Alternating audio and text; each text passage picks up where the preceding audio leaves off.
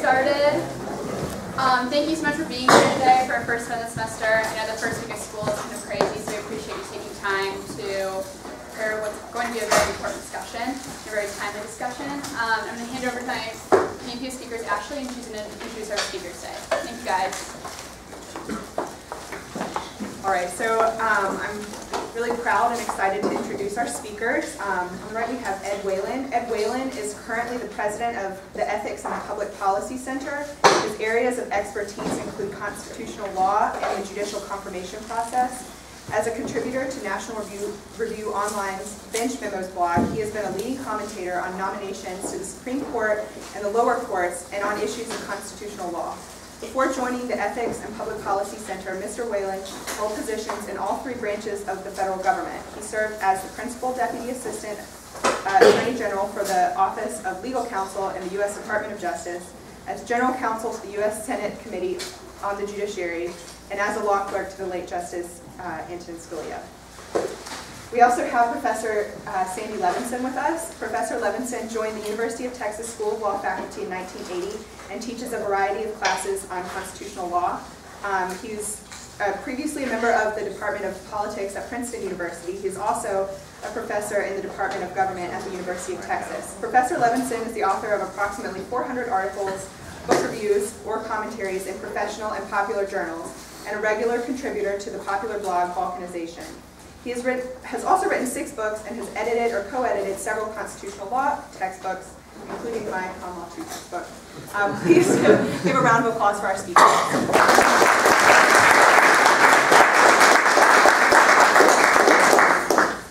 Thanks very much, Ashley. Thank you, Professor Levinson, and thanks to all of you for being here. Uh, I think uh, Professor Levinson and I intend to have a cordial discussion more than a debate, um, so I'll start it off uh, by uh, speaking for 10 or 12 minutes. Um, I'd like to talk about where we are, how we got here, and where we're going uh, when we're talking about uh, President-elect Trump and the Supreme Court.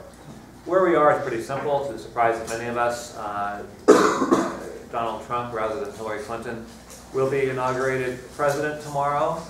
Um, also, to the surprise of many of us, uh, the Senate uh, remains in Republican hands for the next two years, say 52 to 48 uh, margin, plus, of course, the tie-breaking vote of uh, Vice President Pence.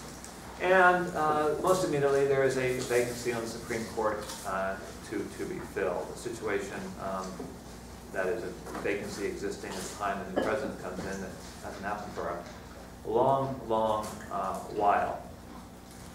How did we get here? Well, uh, the big event uh, occurring nearly a year ago on February 13th was the um, death of my former boss, Justice Scalia.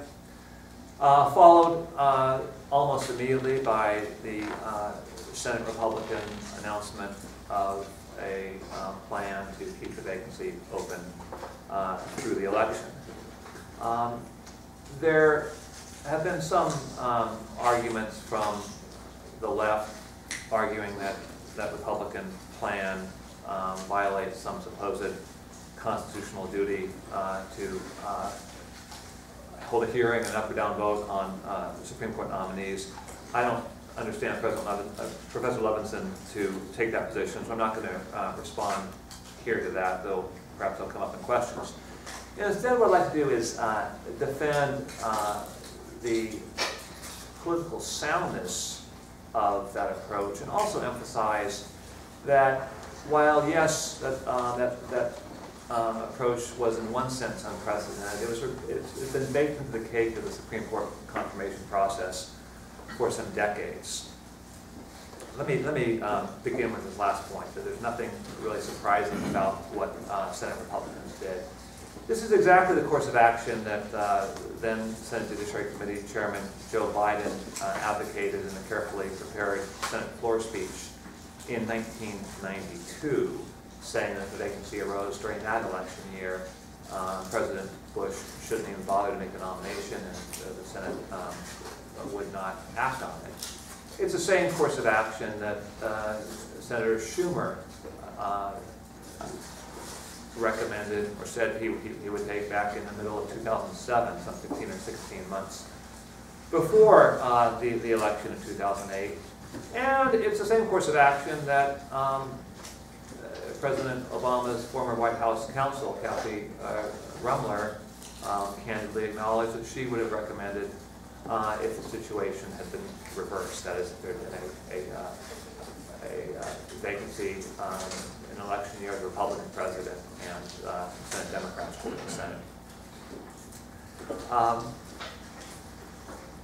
This uh, was, of course, the, the the first time you've had a a vacancy arise uh, in an election year uh, in a long, long time.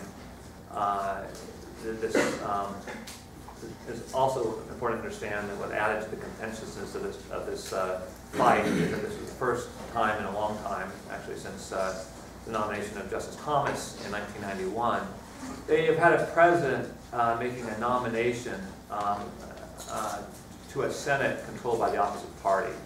That's exactly the configuration that is um, most likely to produce conflict. For all the talk about how controversial, how contentious the Supreme Court confirmation process has been, for each of the past six vacancies, the, the president has had the luxury of knowing all he needs to do is hold together a Senate majority and, and uh, uh, prevent a filibuster, which actually wasn't on the table um, until very recently, uh, and that that nominee um, would be confirmed.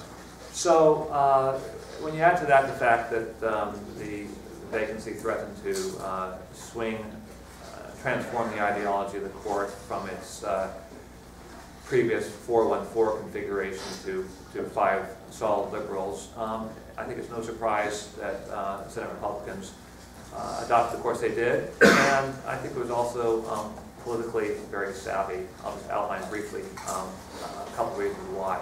First, the Republicans took all that political heat early. They knew that this would die out. They trusted it would die out before the elections. Uh, They were right. Um, Second, uh, by making clear in advance that they would oppose anyone, they took off the table the the Democrats' favorite card of saying, oh, you're opposing this nominee because you're racist, sexist, whatever. No, we're going to oppose anyone. And actually, I think it's that, um, that strong line they took that um, explains um, why uh, President Obama ended up nominating Merrick Garland, someone whom I have great respect. I'm not going to say a bad word about um, Merrick Garland. Uh, very um, uh, brilliant fellow, very, very, very decent guy, um, uh, really admirable person. Okay, um, the, the, uh, the additional fact about how we got here uh, was President Trump's announcement of a list. I think first back in May, then a supplemental list, I believe, in September. Uh, A very interesting move, uh, first naming uh, six candidates uh, we said would be, at the time he said just be reflective, uh, representative of the type of folks he would nominate to the Supreme Court, something that seemed to give him a lot of wiggle room. When he added his supplemental list of 11 in September, he said that he would definitely uh, pick his Supreme Court nominee from this list. And I think in putting out that list, um, uh, Donald was very savvy. He realized he had a real political vulnerability, uh, and he sh- shorted up uh, with conservatives, especially by advertising. He was basically farming this, this, this out. which is a list that the Federalist Society and Heritage Foundation put together. Um, I, obviously, in a close election uh, such as we had, any number of, of factors can be deemed to be outcome determinative. I think most people uh, looking carefully at the election results will give very special force uh, to uh, how the Supreme Court vacancy and the list um, played uh, uh, in the election. Um, so uh, that's how we that's uh, how we got here. What's next? We're going to see a nomination by President Trump sometime. We're told in the next two weeks. With Republican control of the Senate, um, it ought to be an easy matter to get the majority needed for confirmation. The big question is whether uh, Democrats um, try to filibuster um, the nomination, and if so, what happens? Um, You know, does the filibuster succeed? Does the filibuster trigger uh, Republicans to abolish the filibuster? Does the filibuster effort just fizzle out? Let me take just a couple minutes to uh, talk about uh, that, uh, and uh, we can talk later on about some future vacancies that might arise with a really big fights might be. Okay, so with a filibuster, let's have in mind that um, this is a term that's often used loosely. Basically, the, um, when we talk about filibuster, we're really talking about the Senate's rules for cloture uh, on a nomination or, or legislation. Uh, In other words, what's needed before the Senate can uh, proceed to an up or down vote on a nomination or on legislation. And the standing rules of the Senate say that you need 60 affirmative votes uh, if there's a, um, a, a, a- this is not unanimous consent. In order for cloture, to succeed, you need 60 affirmative votes. So, uh, 41 negative votes, or a combination of negative votes plus people not voting equaling 41, can, can uh, block a nominee from going forward. That, at least, was the uh, nominal state of affairs until um, three years ago, when Senate Democrats, um, objecting to uh, Senate Republican uh, filibuster of uh, lower court nominees, abolished the filibuster by majority vote for lower court nominees and executive branch nominees. Um, This is basically, Republicans had had tried to do the same thing back in 2005 when Senate Democrats first launched this campaign of filibusters against lower court nominees. Uh, We can get into the whole Gang of 14 agreement and all sorts of other minutiae if you'd like. Basically, that effort did not, that effort to invoke the nuclear option or cloture reform did not succeed back then. Senate Democrats, when they encountered, um, I think it's fairly understood as uh, a a much lesser campaign of- of uh, partisan filibusters by Republicans, um, uh, invoked, uh, uh, I'm sorry, abolished the filibuster by, by majority vote, exercising what I believe is their constitutional authority to do so. Uh, I, I, I have um, long taken the position that it's constitutionally permissible um, for the Senate to amend the rules at any time, and that's what it did. At the same time, it, it left in place uh, an interpretation of its rules that said that there be, a- that the filibuster is available for Supreme Court nominees. Why did it do so? Well, reports at the time said that, that um, abortion rights groups um, were very concerned that if, this, if, if the Democratic senators abolished filibuster for Supreme Court nominees as well, that would redound to the benefit uh, hypothetically of some Republican president with a Republican majority, uh, make it, make that a lot easier for that Republican president to um, appoint justices who might vote to overturn Roe. That, of course, is exactly the configuration um, uh, that we have now and that uh, Democrats worry about.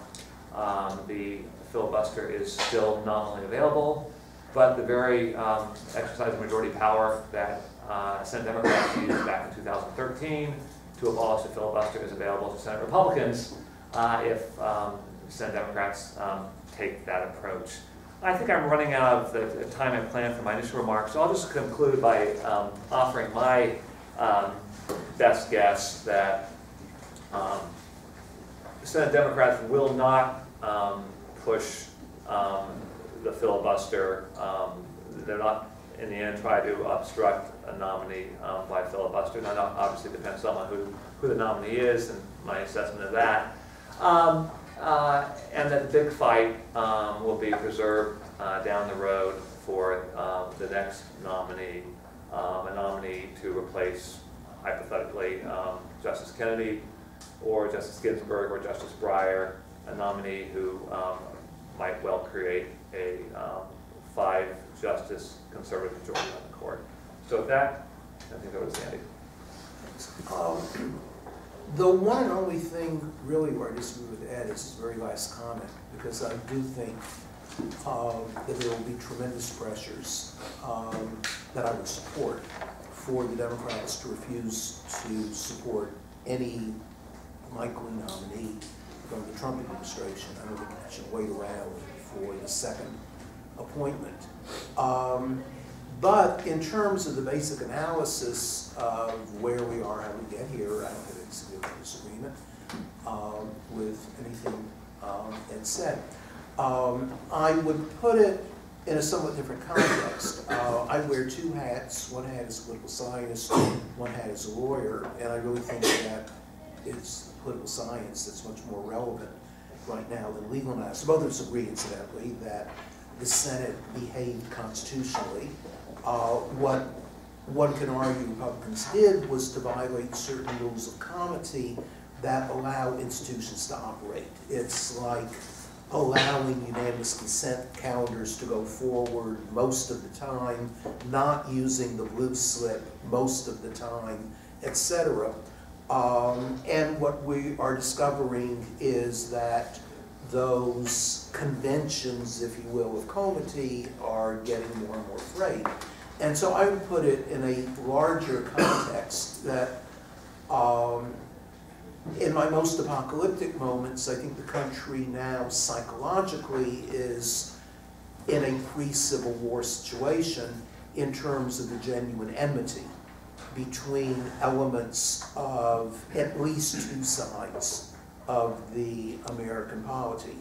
Um, it doesn't mean that all of us hate one another. It does mean that there are significant portions of the public who really do view their fellow citizens as enemies rather than members of a common community.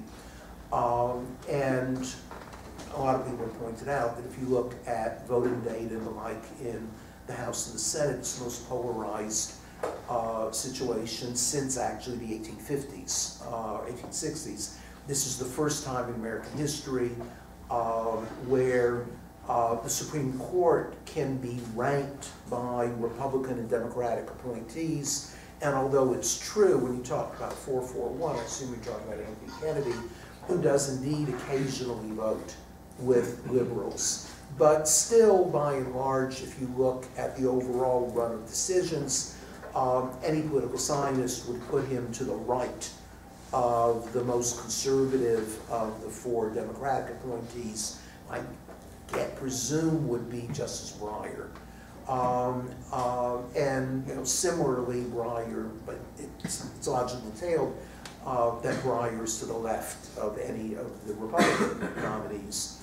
Um, and one of the things that Ed and I talked about at an earlier conference we were at in Philadelphia two days after the election is that one of the things this election did, and I agree with him that you know, there are so many things that could explain Donald Trump's fluke victory, and the swallowing hard by people like Senator Cruz, who accurately denounced Trump as basically a lying sociopath, and then turned around to endorse him. And one might surmise that it had to do with the altogether accurate view that Trump is more likely to appoint a justice uh, amenable Senator Cruz views. So, views. so uh, politics, as Hillary Clinton argued, is hard choices. And a lot of Republicans made the hard choice to support Trump because of Supreme Court appointments. I have no doubt that there were people who mistrusted Hillary Clinton, believed that she really was not the best candidate for the job, who lamented the fact the Democratic Party nominated her, but who nonetheless voted for her because of the desire to get a liberal appointment. And what I think the election did was to remove the last veneer, assuming there was any left, of viewing the Supreme Court as anything other than a spoil of electoral politics.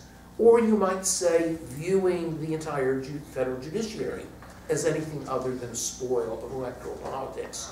Which, among other things, raises the interesting question, why shouldn't the rest of the country be more like Texas? That is, we elect every single judge here, beginning with constable, going up to Supreme Court judges. Most people find this just a terrible notion. They like the idea of an unelected judiciary. It's not that I'm a big fan of the way we do things in Texas, in part because of short terms and the partisanship of elections.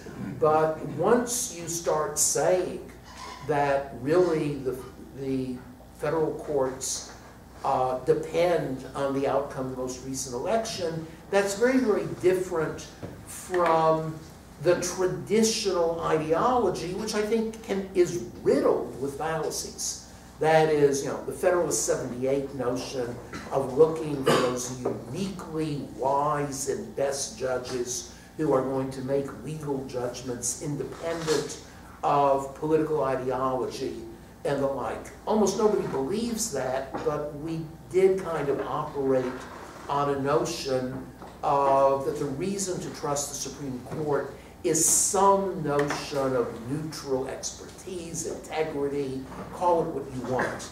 But once you say, now look, how do you get to the Supreme Court? How do you get to a lower appellate court? You know a senator.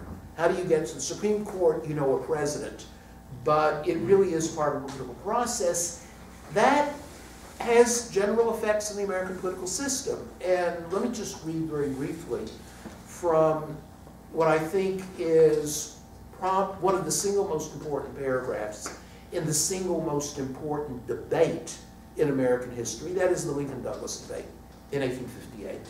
And a great part of the Lincoln Douglas debate dealt with Dred Scott. Not surprisingly, uh, Abraham Lincoln thought Dred Scott was a thoroughly illegitimate decision. Uh, um, Stephen Douglas uh, defended it. And one of the arguments that came up is how are you going to get, how get rid of Dred Scott? Are you going to overrule it by constitutional amendment? No. Article 5 made that complete non-starter. You're going to overrule it by appointing new judges.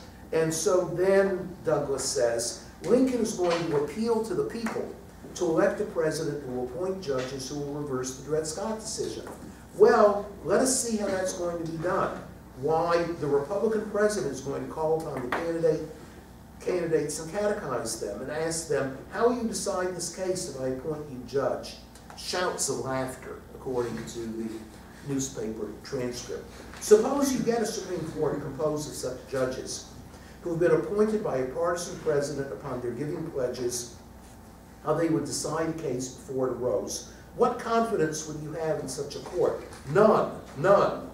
It is a proposition to make that court the corrupt, unscrupulous tool of political party. Mr. Lincoln cannot conscientiously submit, he thinks, to the decision of a court composed of the majority of Democrats. If he cannot, how can he expect us to have confidence in a court composed of majority of Republicans, selected for the purpose of deciding against the democracy and in favor of the Republicans? I think this is the essential question of American constitutionalism.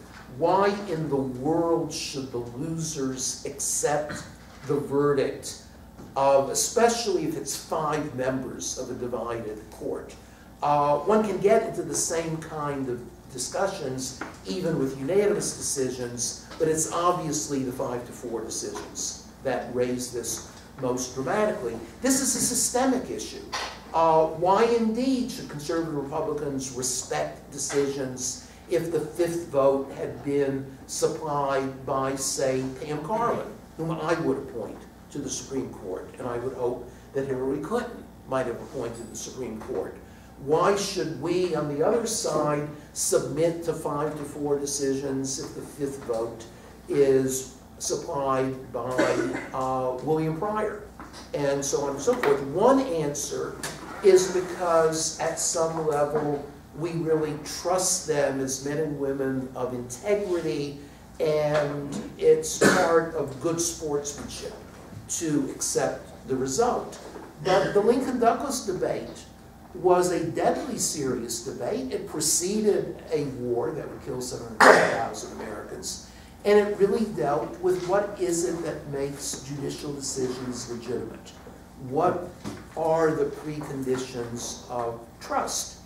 And I think this is where we are right now with regard to viewing the Supreme Court as an adjudicator, and to his credit, um, said that he has only the highest respect for Merrick Garland. That the reason to oppose Merrick Garland is because you don't like the way he's going to vote. And remember, I agree with him that the Constitution did not prevent the Republicans from acting as they did to deprive him, to deprive this extraordinarily able judge of a seat. Um, why in the world would you expect the Democrats to roll over and play dead and to demonstrate yet once more that they have no genuine spine if Donald Trump names any of the people on his list? And let me stipulate that at least some of them are very fine people, very smart, etc. My own wish is that uh, Jeffrey Sutton, who is probably uh, the lower federal court judge I know best, uh, I respect him enormously, I like him personally enormously. Um, I would disagree but have respect for most of his decisions. But in fact, one of the things that kept him off the list, no doubt, is that he wrote by far the best of the decisions upholding Obamacare and the mandate for the Sixth Circuit, far, far better than John Roberts' uh, decision. And I presume that kept him off any of these lists. But I have to say, if Donald Trump miraculously nominated Jeff Sutton, I would still, with a heavy heart, I would still expect and want Democrats to say, in effect, you didn't earn this. Uh, what Mitch McConnell said is we're going to wait for the people to make their choice. Well, it is an awkward truth that more people voted for Hillary Clinton, about 3 million people more than Donald Trump. It's also an awkward truth that if you add up the vote for senators, there are more Democratic votes than Republican votes. So at the very least, this suggests that it's hard to speak of a mandate with regard to how the Supreme Court should be stopped. It's a political decision. Um, that's kind of all that Supreme Court or lower court appointments boil down to these days. You can, both of us agree, I think this is an accurate description, and then you can lament that and say, really, we should try to figure out who that set of really respect-worthy judges are, whether we think we might agree with them or not. And I would put Jeff Sutton on that list. I suspect you put Merrick Garland on that list. But we are in a political situation where Merrick Garland doesn't get a hearing. And let me suggest that if Hillary Clinton had won, you know, if the fabled 80,000 votes had been distributed differently, but the Republicans had kept the Senate, Mitch McConnell would no longer be saying, well, we were, well, we were around for the people's choice. And if President Clinton nominates Pam Carter, that's fine with us. We're not going to use our power to vote her down. Uh, I think that Republicans would quite accurately have said Justice Karlan or Justice Liu, or for that matter, Justice Garland, will transfer power into the foreseeable future to liberals. Our political base won't stand for that. If we vote for a Justice Karlan or Justice Liu, we're going to be primaried and thrown out of office in the run-up to the 2018 elections. Uh, and I suspect that the same psychology is going to operate for lots and lots of Democrats. That if they vote for any Donald Trump nominee, even uh, Jeff Sutton or uh, Mike McConnell, um, whom I wrote a very warm letter for when he was nominated to the Tenth Circuit. I wouldn't have nominated Mike, whom I like and respect, but elections do have consequences, and if George Bush nominated him, I thought Mike was certainly um, a worthy judge. He resigned. Uh, but of course, we really are in a different political situation, which I think whether you're liberal or conservative, we really shouldn't rejo be rejoicing in, because it, it's not merely polarization, it is the psychology of no compromise, take no prisoners, and ultimately, if you play this out, secessionist or even civil war as a possible American future. Uh, One of the reasons I'm so eager to accept the invitation to participate today is because I really do admire Ed, even though I am sure we disagree far more than we agree on specific legal issues. Uh, But I think that both of us are devoted to something called the maintenance of an American constitutional order. And I think that both of us are worried how that will be done, or for that matter, if it can successfully be done. Well, thanks, Sandy, for those uh, interesting and thoughtful remarks and for your, your kind remarks about me, which I reciprocate. Um, Let me offer a few um, uh, comments in response. I'm going to start with a smaller one, just lest it slip my mind. I don't think that Senator McConnell's um, uh, let the people decide meant um, uh, that the Republicans would roll over um, for any Democratic nominee. I think it was just that, that uh, it was a way of saying, that we should probably consider the nominee of the next president. I do think that had, that um, had um, uh, Hillary Clinton um, been elected and renominated Merrick Garland, he would have gone through very quickly. Um, The others you mentioned might well have been more problematic. Um, But let me, let me get to your, um, your, see, your, your your bigger comment, which I find very interesting, and that Lincoln Douglas uh, passage is, is is wonderful. First of all, I, I defer to your insights on how hard the left will push for a filibuster. Um, I, I understand, um, obviously, there's a great deal of pent-up anger over the, uh, over the Garland nomination, and, and obviously a lot of anger um, uh, about uh, our, our president-elect. Um, So, you might well turn out to be right um, about a filibuster. The, the, the, the reasons why that might not happen, I think, are first, um, that there, there are probably some Democratic senators who uh, worry that filibustering will result in abolition of filibuster, which will pave the way, um, uh, make it a lot easier for Donald Trump next time. Um, especially as he sees some signs of moderation in his, in, in his pick uh, here. Secondly, there are lots of very vulnerable Democratic senators in 2018. 2016 was a very tough year for Republicans. 24 of the 34 seats up for election were seats held by Republicans, many in very vulnerable states. In 2018, the numbers are, are uh, reversed and more. 33 seats are up. 25 of them are held by Democrats, uh, in- including many who um, um, won for the first time in the Democratic wave of 2012, uh, including in red states. Uh, and it's going to be dicey to figure out um, the politics of this. I can see a Senator Schumer uh, or other sen- senators trying to preempt the filibuster by saying up front, well, you know, we're glad President Trump didn't go down this, this and this road, and we'll give this person careful consideration. And it, it might be that the filibuster effort is avoided.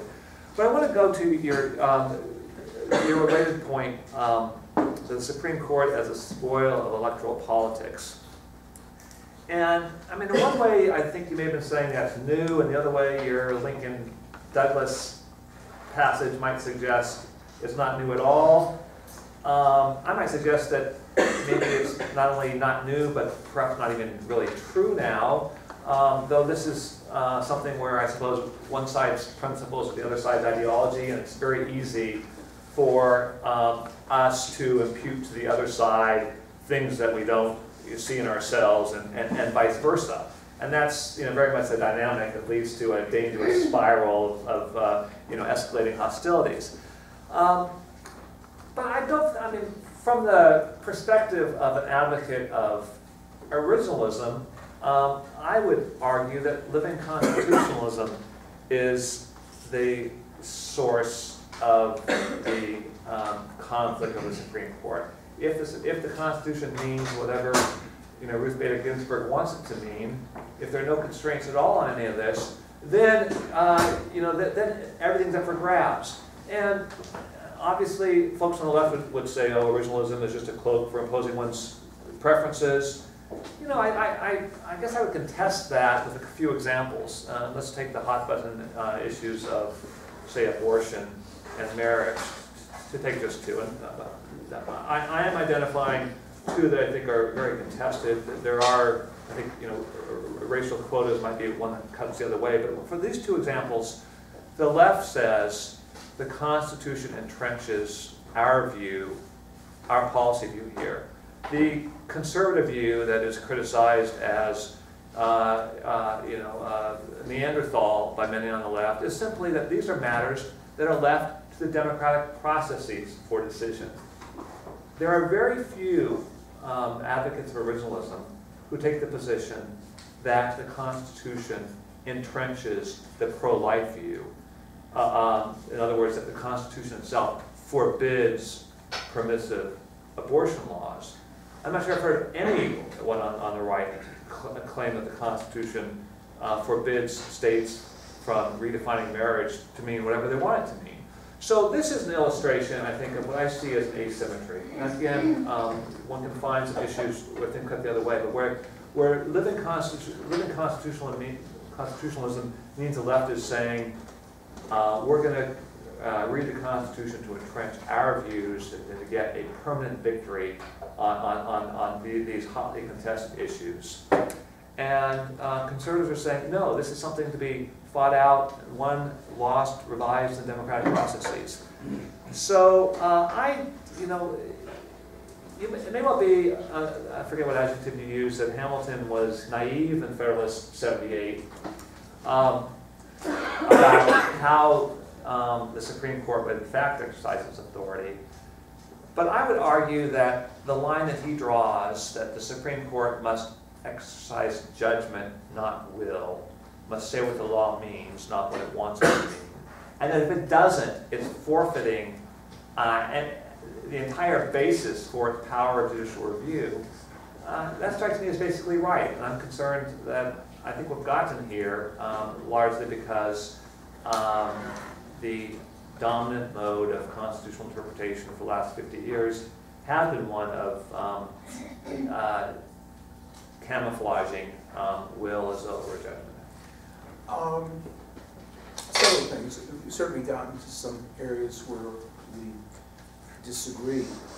Um, with regard to filibuster, um, let me say I'm not at all sure that it would be a bad thing to eliminate filibuster, not only in Supreme Court appointments, but generally.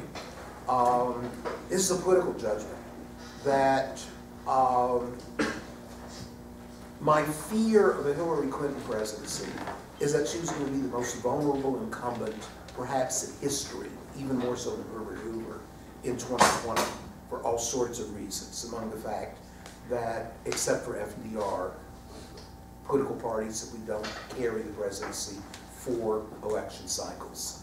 Um, also, she wasn't having domestic policy achievements that required congressional assent. Um, I think that Donald Trump or the Republican Party will be about as vulnerable in 2020 as Hillary Clinton would have been. I would like the Democrat elected in 2020 and inaugurated four years from tomorrow to be able to pack the court with my sorts of judges. I mean, let's be crude but honest. Somehow or other, the Democrats valiantly fight to preserve the filibuster, then that's not going to happen. I would actually like the filibuster to be eliminated for ordinary legislation because I want the Republican Party to own the issue of replacing Obamacare and not be able to blame Democrats for not collaborating and wrecking the American health system. Um, um, and so I, I, think it is short-run thinking to say, oh, we really preserve filibuster in order to prevent Donald Trump putting William Pryor in court. I'd rather have William Pryor in the court and no filibuster, frankly, and then continue fighting for the health of Ruth Ginsburg, Steve Breyer, and Anthony Kennedy. But one of the things we know is that Supreme Court justices turn into megalomaniacs, except for David Souter, and think not simply that they're going to live forever, but that the country needs them forever. Um, and so who knows what's going to happen in the next few years. Um, anyway, those, those are my comments on filibuster. Both of us agree that there's nothing new about politics asserting itself in the Supreme Court. Uh, the midnight judges, the selection of John Marshall as the uh, fourth Chief Justice, the great Chief Justice. Um, what I said in my remarks is that the last remaining veneer has been removed, but certainly not that it's, this is anything brand new in American politics. I think the really key and fundamental point is the one that Ed raised at the end. And I don't know to what extent we fundamentally disagree or not. I'm not an originalist. I disagree with the way he approaches the Constitution. Does that mean that I think his approach is worthless or outside of the boundaries of taking the Constitution seriously? No, that is not my view. I think the worst legacy of Justice Scalia is his introduction of what I have called in print trash talk into opinions of the United States Supreme Court, where he doesn't, didn't merely respectfully disagree and say, I have a different reading, I think your reading is wrong, here's why I think your reading is wrong. But rather he suggested with some frequency that the people he disagreed with, including his very close friend Ruth Ginsburg, really weren't behaving like judges at all.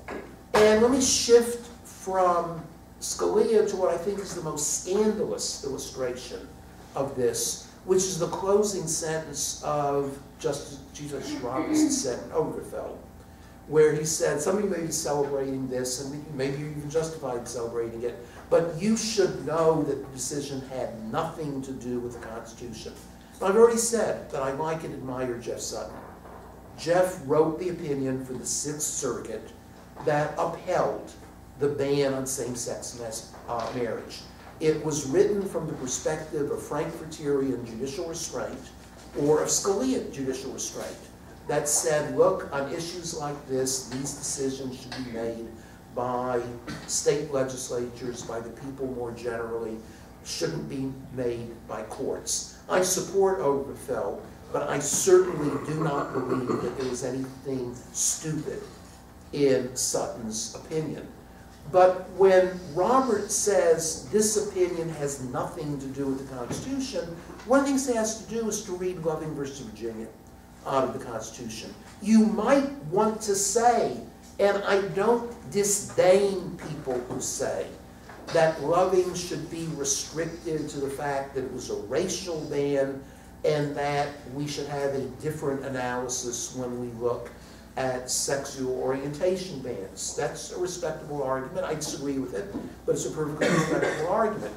Um, if just Chief Justice Roberts wants to dissent, if the other three want to dissent, that's fine with me because it's very clear to me that the Constitution doesn't speak with crystalline clarity on this issue in the way that it does speak with absolutely crystalline clarity as to when Donald Trump, alas, will become President of the United States. The answer is at noon tomorrow, um, and you know that because of the 20th Amendment.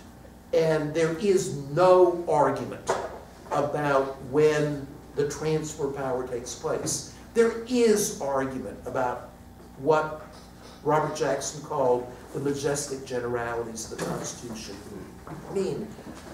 What I wish, uh, I don't know how many of you listen as I do incessantly to the sound, to the cast album of Hamilton. Um, but at the end of that really remarkable play, and it's to Mike Pence's credit that he went to it uh, and didn't rail against it as an un-American play.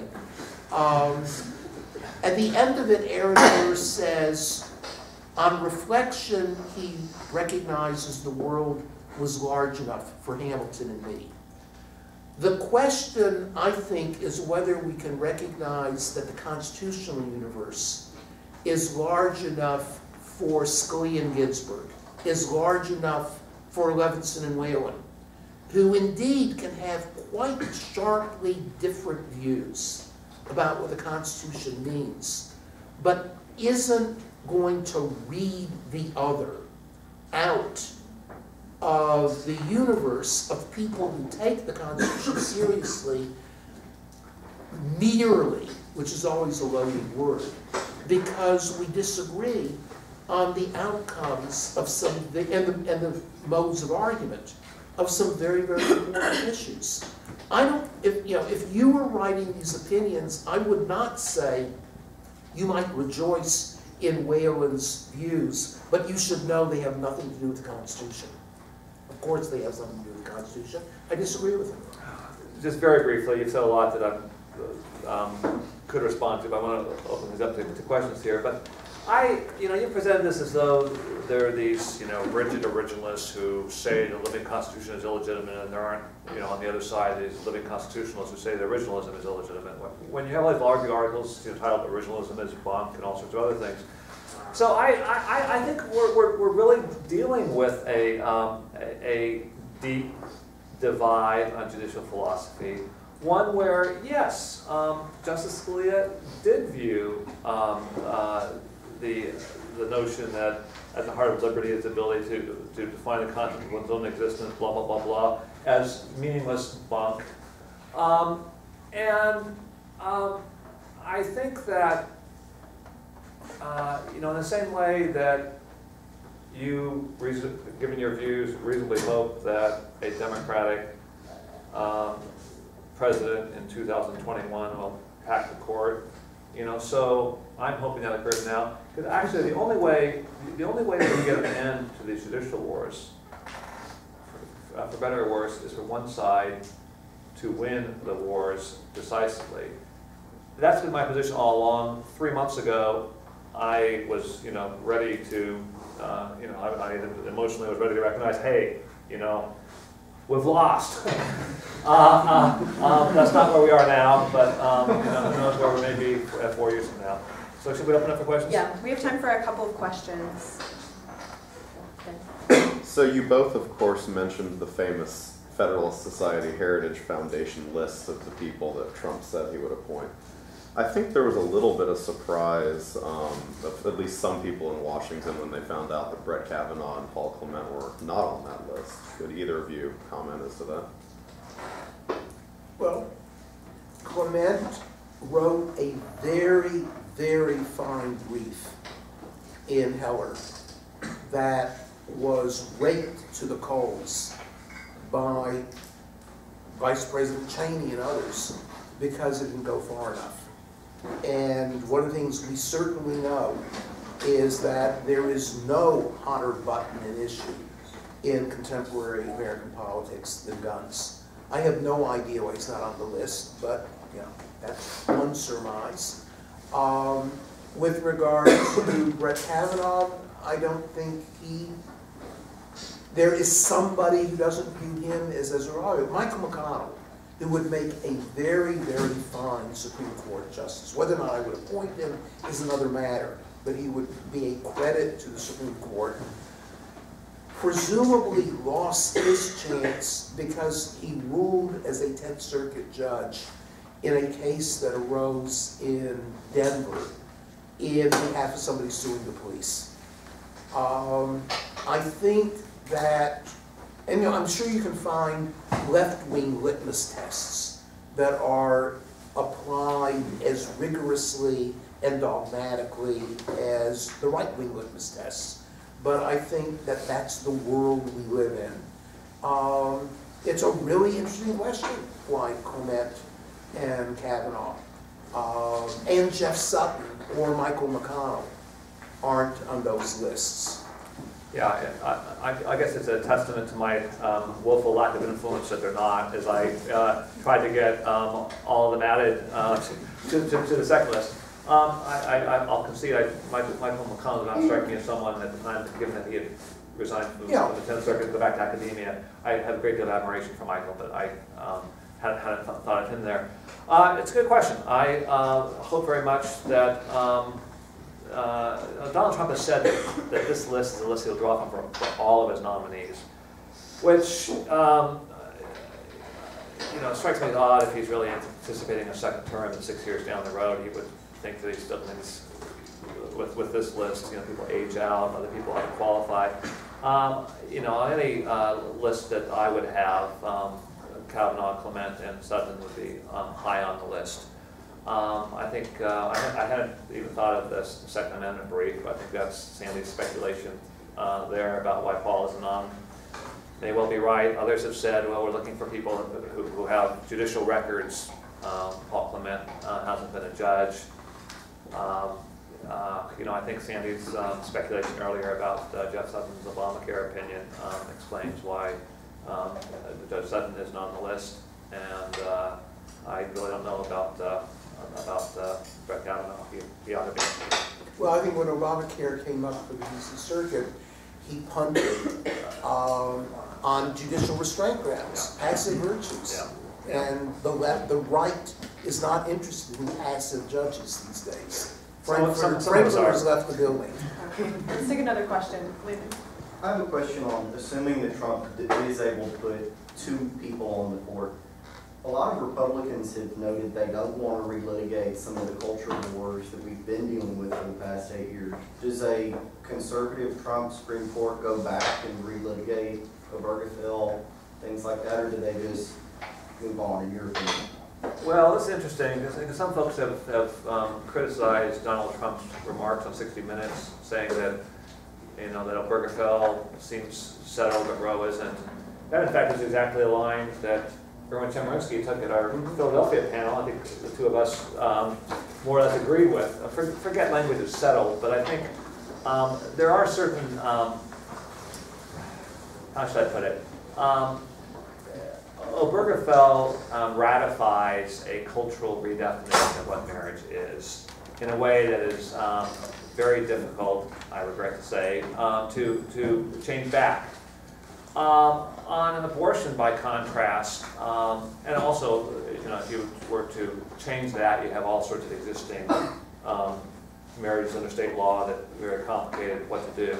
Uh, the reliance interests there are actually much greater and much more difficult to address through those legal processes, I think, than in the context um, of abortion.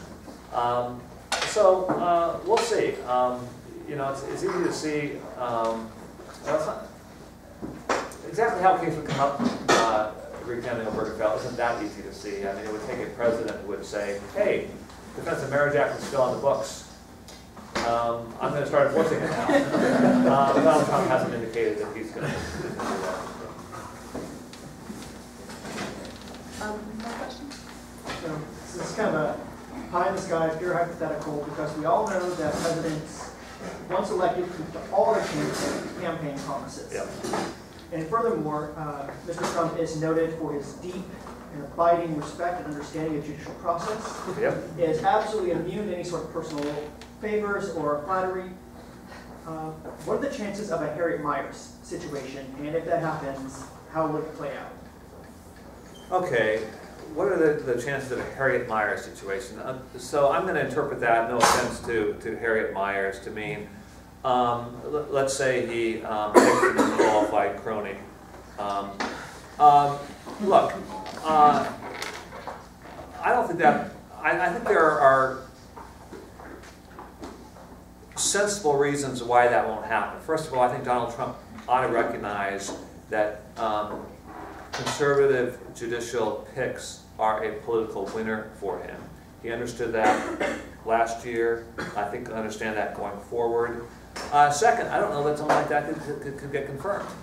Again, um, for the same reason Harriet Miers did it. Um, if you have a, uh, now, you know, you could imagine someone the Democrats are, are, you know, eager to, to, to, to get on the court, but you still, if Republicans control the Senate, how does that happen? Um, so I, I'm not going to rule anything out um, for some of the reasons you suggest, um, but I don't see that happening.